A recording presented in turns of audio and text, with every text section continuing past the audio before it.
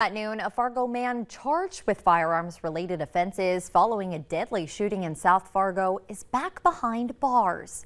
Amir Logan is charged with being a felon in possession of a firearm, altering a firearm, and possession of a controlled substance by an inmate.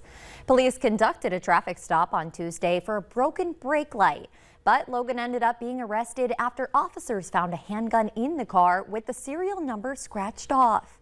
Court records say while being booked at the Cass County Jail, cocaine and marijuana fell from his pants. He's back in court today on these new charges.